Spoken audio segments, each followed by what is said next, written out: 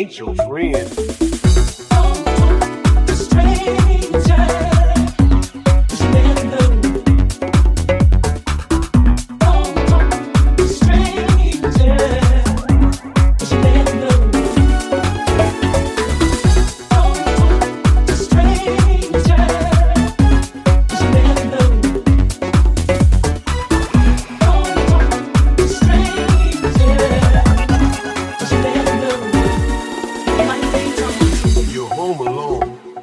was a knock at the door.